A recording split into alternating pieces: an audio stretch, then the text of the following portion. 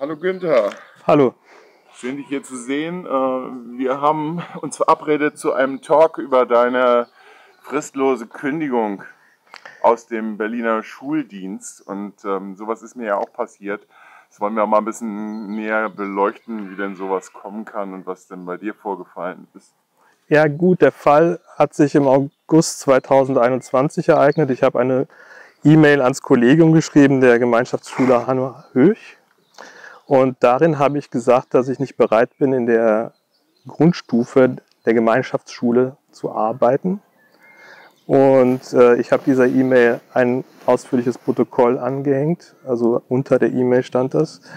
Äh, worin ich zwölfmal gesagt habe, dass ich nicht bereit bin, äh, in äh, der Grundstufe der Gemeinschaftsschule zu arbeiten, im Gespräch mit der Schulleiterin äh, Viola Risto. Genau. Das ich meine, Berlin sucht so viele Lehrer. Da kann das doch nicht sein, dass man wegen so einer Aussage dann einfach fristlos aus der Schule befördert wird, oder? Da könnte das doch, äh, wäre doch viel näher liegender, dass man, oder naheliegender, dass du dann an einem Gymnasium arbeiten könntest. Hm, nein, ich wurde ja gleich fristlos gekündigt, damit kam ja nichts mehr in Frage. Ich bin dann vor das Arbeitsgericht gezogen und war im Prozess jetzt über anderthalb Jahre. Du, du warst ja da bei der Urteilsverkündung im Mai und äh, das hat sich dann hingezogen, ja, wie viele Monate? 17 Monate. Siehst du da irgendwie System äh, dahinter, dass das so lange dauert? Ich meine, sowas könnte man doch eigentlich gleich als Staatsanwalt vom Tisch wischen und sagen, der Staat hat ah, nee, Interesse. Staatsanwalt hat ja nichts zu tun, da sind Zivilverfahren, da, da sind Stimmt, äh, nur recht. Privatanwälte. Äh, genau. Und äh, man könnte das natürlich schneller machen, aber der, der, Senat hat ja kein Interesse, das schnell zu machen. Also wollte er es in die Länge ziehen und die Gerichte spielen mit. Und ähm, ich habe ein halbes Jahr gewartet auf meinen Termin äh, in der ersten Instanz und dann hat es noch über ein Jahr gedauert, bis dann die Urteilsverkündung war in der zweiten Instanz. Hat, hat aber äh, Corona irgendwie eine Rolle gespielt? Nein, hat, diesmal war es nicht die Ausrede, Corona hat keine Rolle gespielt. Äh, angeblich war der, in der zweiten Instanz war der Richter angeblich zuerst krank, dann wurde es verschoben aus einem Grund der Kammer, die Kammer musste tagen. Und ja, der dritte hat dann stattgefunden. Also ich sollte eigentlich im Januar schon das Urteil am 20. Januar und bekommen habe ich es am 12. Mai. Und ja, das ist, geht eigentlich auch nicht. Also, das ist nicht rechtsstaatwürdig, äh, eine Urteilsverkündung vier Monate hinzuziehen, wo eigentlich nur gesagt werden muss, was der Fall ist. Es wurde ja schon entschieden. Ja. Und das zieht man aus nichtigen, fadenscheinigen Gründen die Länge. Das ist woher kommt deiner Meinung nach möglich. diese Vorgaben? Wie, wie kann man die Gerichte auf die Art und Weise einbinden? Das sind doch Arbeitsgerichte, die müssten doch in einer ordentlichen Gewaltenteilung wirklich einen eigenen Kopf haben und äh, arbeitsrechtlich entscheiden und nicht entsprechend den Vorstellungen der Senatsverwaltung. In der Theorie ja, aber da war zum Beispiel in der ersten Instanz äh, eine ehrenamtliche Richterin, die war Personalrätin im Bezirk Mitte, hat auch gesagt, dass sie es war und aufgehört hat. Und ähm, nach einer Recherche, also ich habe dann zugestimmt, dass sie weiterhin äh, Richterin sein kann in meinem Fall, dann muss sie ja zustimmen, also unter der Bedingung, dass sie aufgehört hat. Aber sie hatte nicht aufgehört, sie war im Sabbatjahr, wie ich nach einer kleinen Recherche im Internet herausgefunden habe. Und äh, das habe ich auch dem Gericht mitgeteilt und das war für die nicht von Interesse. Das, ist, das passiert halt einfach mal. Äh, der Richter hat auch keine Verantwortung und bla bla. Und ich habe das auch alles online gestellt auf meinen Twitter-Account. Seit Januar, seit äh, das Urteil nicht verkündet wurde, habe ich angefangen, immer wieder die Schriftstücke jetzt äh, auf Twitter zu stellen und auch auf Bürger, Bürgerredaktion.de. Ist gelöscht worden?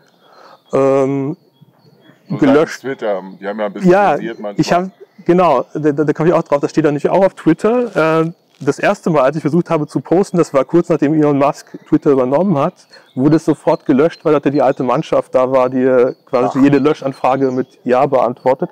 Und wahrscheinlich kam das vom Senat, die Löschanfrage, weil ich sie ja mit in Ad gesetzt habe. Also, das ist jetzt nicht offiziell, äh, dass sie sowas nee, machen können. Aber die, die, waren informiert, also wer soll das sonst machen? Die Presse wird ja wahrscheinlich nicht gesagt haben, löscht das jetzt. Das also nee, waren Presseleute also ich habe so. hab auch den Verdacht, ja. dass es da irgendwelche ja. Einheiten gibt, die. Äh, Aber die wurden ja kurz danach gefeuert, auch noch im selben äh, Monat, im Dezember, wurden dann alle in der Löschmannschaft von Twitter gefeuert in Deutschland und danach ging es dann alles zu posten, was man will.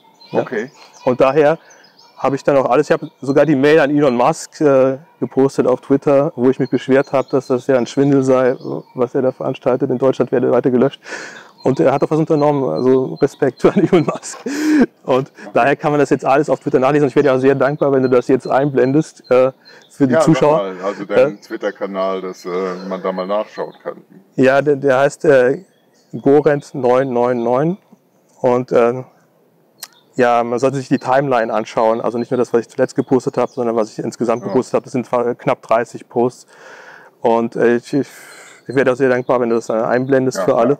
Und ähm, da kann man alles nachlesen, was gelaufen ist, äh, was ich seit Januar gepostet habe. Ich habe den Kanal seit Januar. Hm. Ja, du, jetzt. du weißt natürlich, die Leute, äh, die haben wenig Zeit, die wollen immer nur Wischi-Wischi machen, so auf ihren Social Media Ja. Accounts.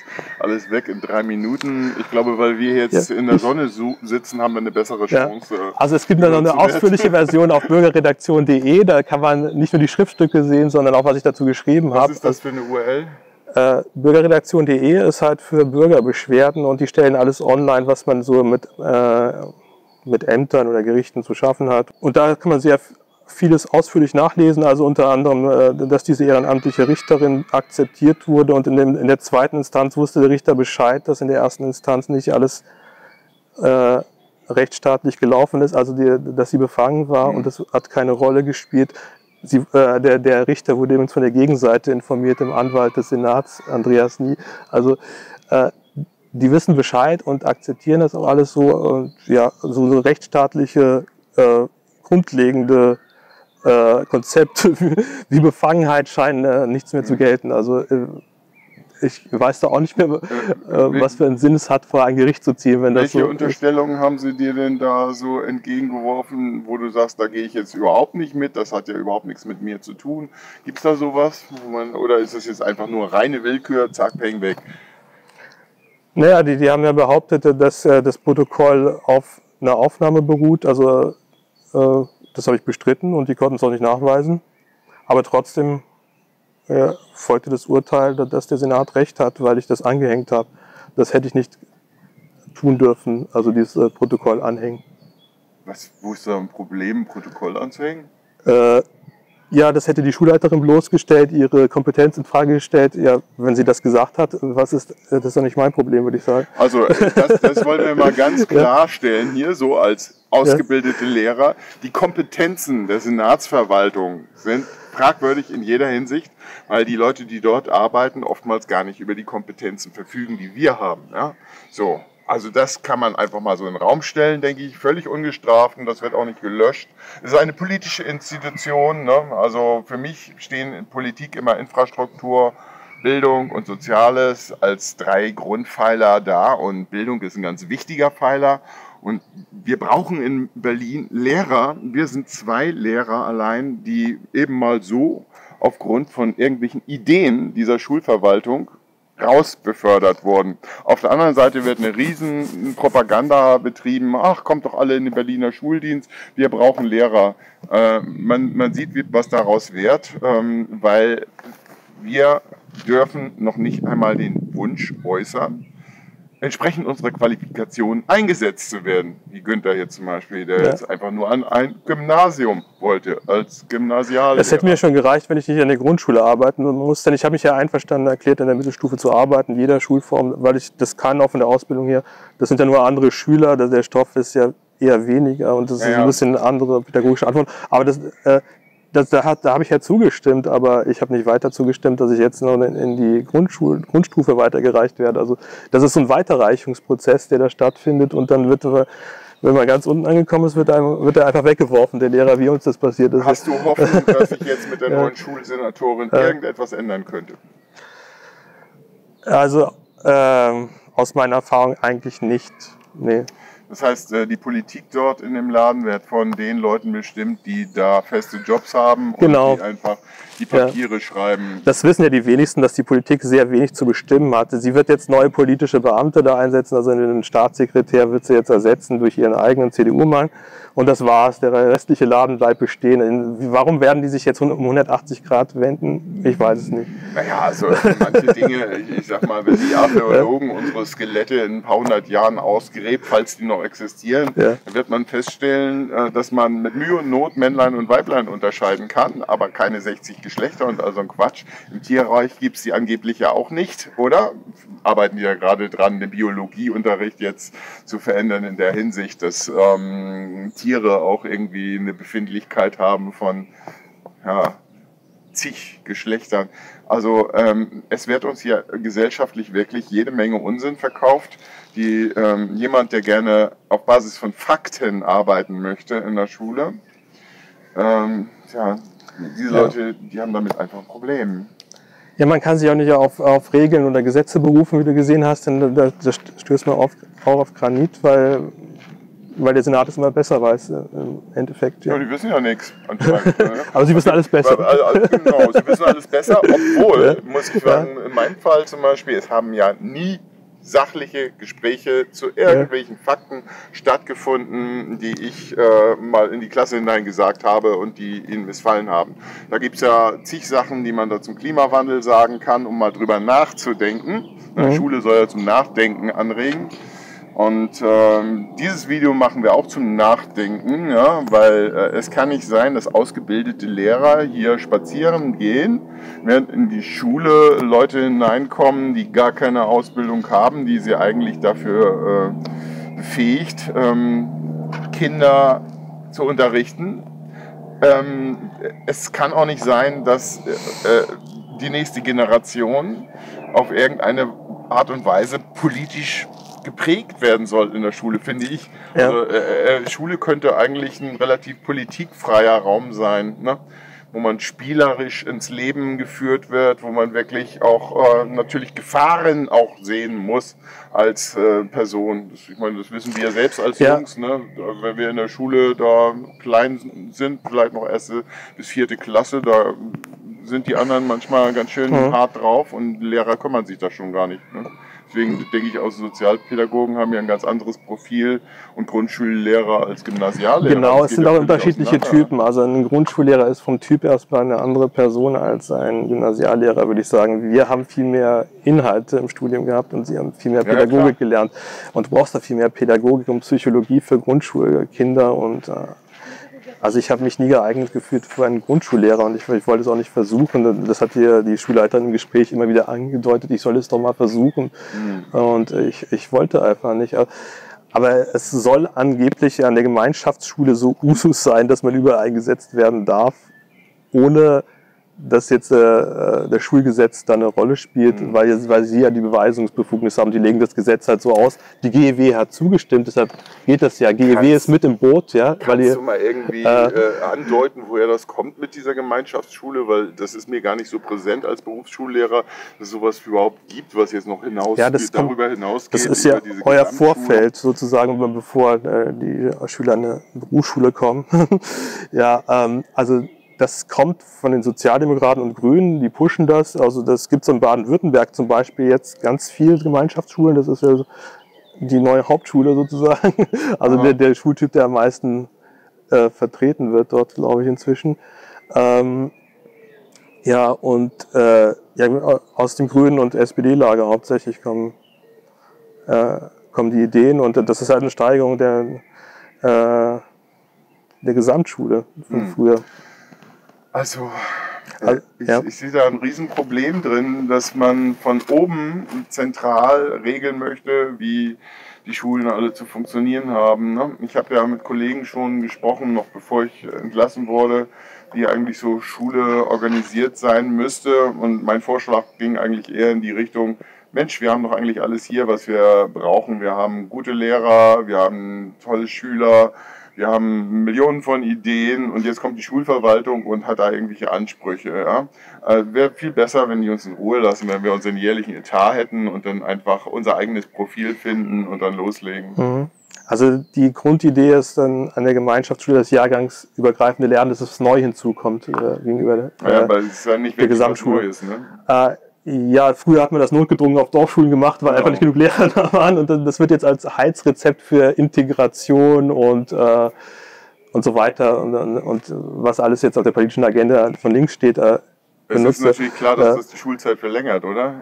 Ja, klar. Also da werden jetzt einige Leute aufschreien und sagen, nein, verkürzt. Okay, also ich oute mich ja. Ich bin in einer Dorfschule Ja, genau. erzogen worden Ja. und ich hatte ein Jahr Rückstand, als ich aufs Gymnasium kam. Und das musste ich erstmal mühsamst aufholen. Und ich bin tatsächlich der einzige Dörfler in Ja, dieser und Klasse das war- damals gewesen, der das war- das überstanden hat, diese Tortur gegenüber den Städtern. Kein pädagogisches Konzept, sondern aus der Not geboren, weil einfach nicht genug Lehrer da waren, um verschiedene Klassen in der Dorfschule zu unterrichten. Das weißt du selbst Ja, wahrscheinlich. natürlich. Ja. natürlich. Also die die Klassen waren ja auch viel kleiner, das heißt, du musstest schon zwei Ja. Klassen zusammenlegen, um deine 20 Kinder da vor dir zu So haben. ja. Ja, Das war der genau. Grund, das war kein pädagogisches Konzept, das wird uns heute als pädagogisches Konzept verkauft, Ja. ohne Not Richtig. so unterschiedliche Schüler dann zusammenzustecken Du legst Klasse. den Finger in die Ja, Wunde. genau, Das, ist, das geht alles in Richtung Kosteneffizienz. Ne? So. So ungefähr, ja. Ja. Wie stelle ich äh, industriell möglichst easy äh, gefügsame Erwachsene her, ne? Ja. die dann überall einsetzbar sind, entsprechend ihrer aufgestempelten Qualifikation. Wenn wir heute sehen, was aus den damaligen Einsern geworden ist, meines Jahrgangs, dann sind das heute die gehorsamen Ärzte, die alles mitgemacht haben während der Corona-Pandemie. Ja. Die waren auch damals schon gehorsam. Die haben nämlich alles gemacht, was die Lehrer sagten. Das hat gut funktioniert. Also wenn da irgendwie ein Plan dahinter steckte, Gratulation, wunderbar umgesetzt, hat funktioniert. Großartig hier. Naja, ähm, was meinst du, was wir jetzt zu deinem Fall nochmal irgendwie beleuchten müssen? Vielleicht, ähm, was hast du denn jetzt vor? Wie geht es denn jetzt weiter? Ich meine, das ändert ja nichts an deiner Qualifikation. Du hast äh, etwas studiert, was gefragt ist. Ähm, wirst du in einem, anderen Bundesland dann als Gymnasiallehrer dann an, arbeiten oder? Das wird ja schwierig, weil mir jetzt äh, das Arbeitszeugnis fehlt, sozusagen. Ich habe noch kein Arbeitszeugnis und äh, ich weiß es noch nicht, wie es weitergeht, ehrlich gesagt. Ich, äh, ich werde versuchen, den Fall publik zu machen, ein bisschen, ja, aber, äh, weil, weil ich finde, dass, dass äh, diese Regelbeugung äh, oder Rechtsbeugung einfach nicht geht und der, die Öffentlichkeit sollte davon erfahren. Das ist auch meine Hauptintention, hier mit dir ein Interview zu führen. Kennst du, Äh. kennst du weitere Fälle, denen so ergangen ist wie dir und mir? Leider nicht, weil das ja nicht an die Medien geht. Also ich habe versucht, auch Medien einzuschalten. Keiner hat sich gemeldet. Die Okay. interessiert das einfach nicht. Das kann, da, wenn äh, der Senat beteiligt ist, dann existiert das für die Medien nicht. Also kenne ich keinen anderen Fall, weil es ja unterdrückt wird quasi. Da müsste je, jemand äh, über alternative Medien quasi sich dann wie Ja, du Telegram-Gruppen, äh, wie du, man sich so zusammentut. ja, bemerkbar machen. Du hast es ja geschafft über alternative Medien. Also anders äh, erfährt man ja nicht davon. Ja, das ist zum Beispiel jetzt auch so ein Thema. Wie geht man um mit dem, was uns jetzt so in dieser Gesellschaft widerfährt? Und mh, ich ähm, denke, wir haben jetzt hier zwei Beispiele vor der Kamera. Ne? Ich bin sehr offensiv immer mit jedem Kleinkram in die Medien gegangen und du hast versucht, das über den Rechtsweg möglichst auszuschöpfen. Ja, ich habe dann auch auf Twitter eingeschaltet, äh, als es zu bunt wurde, als Relativ meine spät. Urteilsverkündung dann ja, genau, Äh, hinausgeschoben wurde unter einem fadenscheinigen Vorwand. Da und warst du schon in der Berufung, ne? so. ja, da war ich schon in der zweiten Instanz, Ja. richtig. Und äh, dann habe ich gesagt, das lasse ich mir jetzt nicht mehr bieten, das geht an die Öffentlichkeit alles. Und äh, seitdem fast wöchentlich gehen da E-Mails raus an, an eine sehr große Menge von äh, Empfängern. Ja. Es gibt manchmal auch Leute, die schreiben mir dann irgendwie äh, eine Nachricht und sagen, kannst du nicht mal über deinen großen Presseverteiler dies und das und jenes an die Presse geben? Äh, kann ich einfach nur sagen, äh, es gibt bei mir keinen großen Presseverteiler, weil ich das wahrscheinlich ähnlich wie du ähm, genau den Personen zustelle, äh, für die das eigentlich Relevanz hat. Weil man weiß ja selbst, wie man reagiert Ja. auf irgendwelche Mails, die da angeflogen kommen, die auf CC sind, die liest man manchmal, aber noch nicht mal das immer. Ne? Ja, es gibt auch manchmal Überraschungen. Man weiß ja gar nicht, wie die Leute wirklich ticken, denn jeder sagt ja was anderes als äh, es gibt ja, was er, wirklich denkt. Es gibt ja die, das öffentliche Sprechen und das private.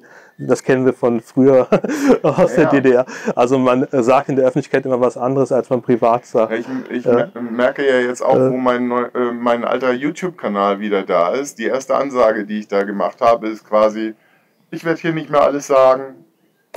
Dann sagen meine Zuschauer bestimmt, was? Der knickt jetzt auch noch ein, der sagt nicht mehr alles.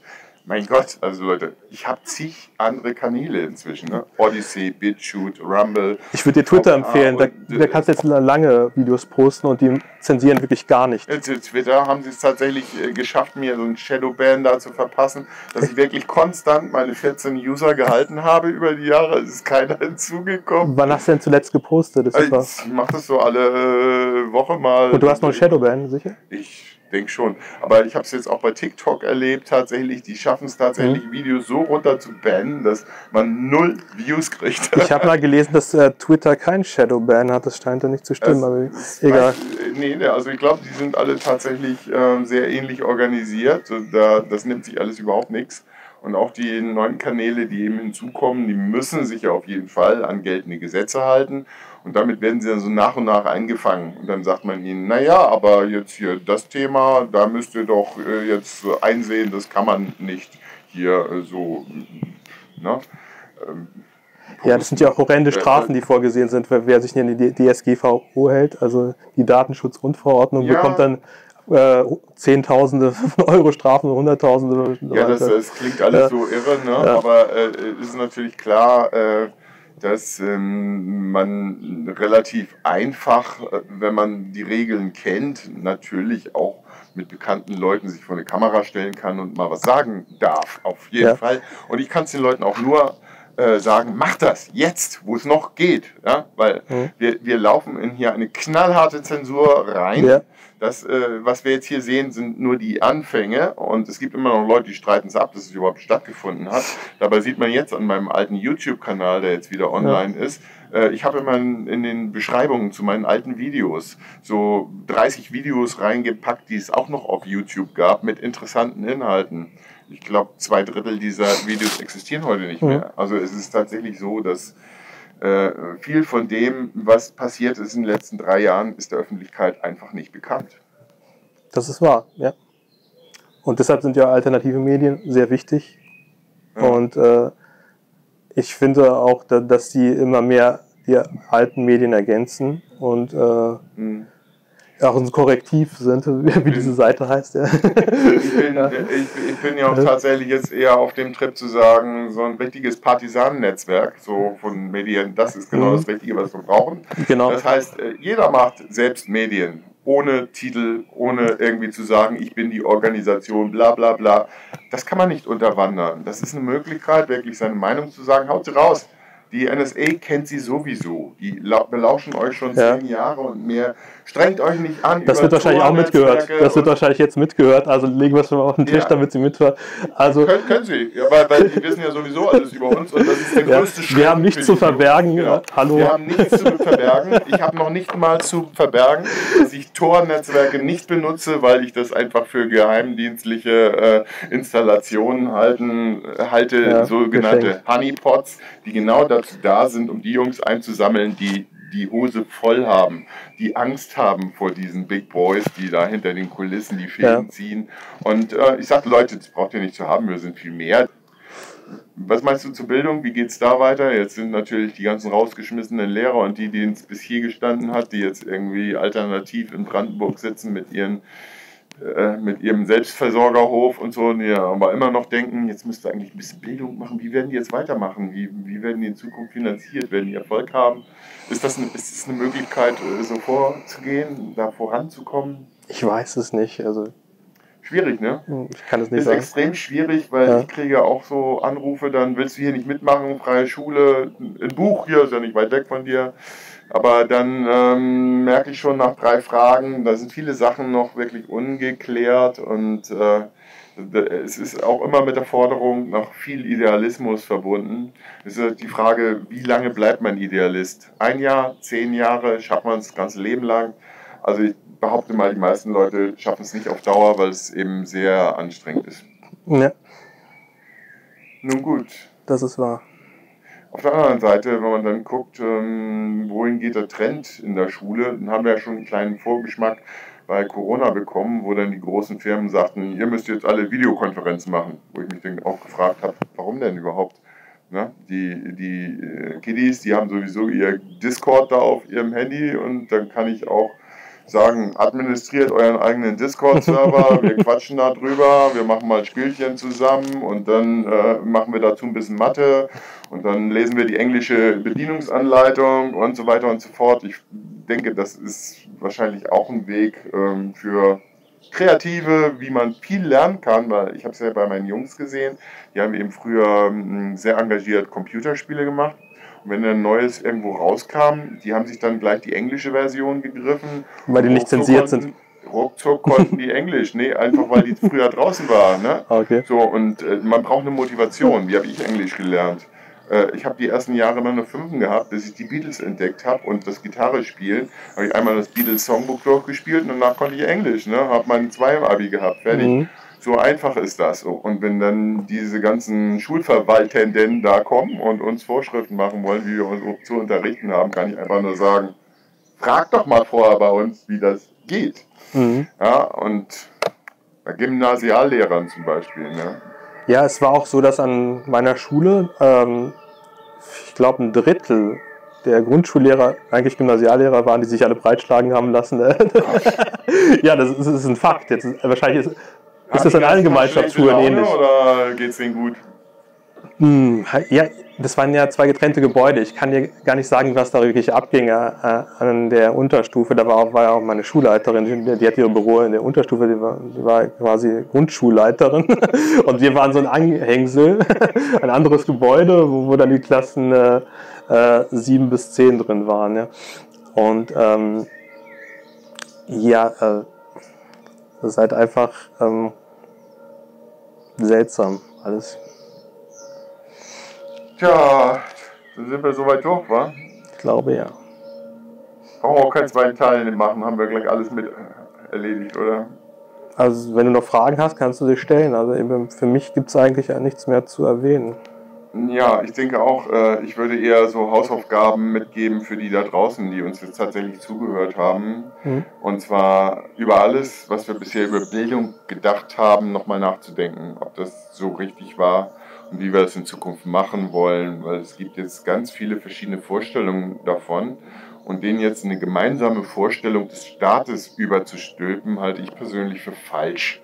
Also wenn man subsidiarisch arbeiten möchte, von Schule von unten machen, dann heißt das natürlich auch, dass die verschiedenen Regionen, ich sage absichtlich jetzt mal Regionen und nicht Länder oder Nationen oder sowas, sondern Regionen einfach äh, verschiedene Vorstellungen davon haben, wie äh, zu unterrichten ist. Ne? Weil im Weinbaugebiet äh, sind andere Beispiele äh, äh, nötig, um Mathe beizubringen, als in einer Industriestadt oder was weiß ich, in einem Naturgebiet, wo es noch Förster gibt und Tiere, die man morgens beobachten kann. Das läuft alles völlig auseinander, das war immer schon so. Und jetzt zu glauben, man könnte staatlicherseits alles in einen Topf schmeißen und alles gleich machen, das funktioniert nicht.